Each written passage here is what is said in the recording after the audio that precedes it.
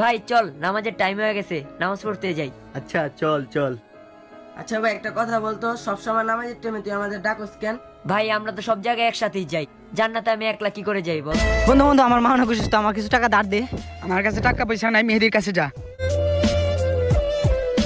বন্ধু আমার মা অনেক অসুস্থ আমার কিছু টাকা দাঁড় দে। আমার কাছে টাকা পয়সা নাই শহর দেশে বসিস না যা। ভাই আমি আমার ফোনটা বিক্রি করে দেবো আমার কাছে টাকা আছে আমার আরে সর সর আমি গেলাম যা। ভাই ভাই ভাই আপনার কল আসছে। হ্যালো? ভাই তোর মার দুনিয়াতে নাই।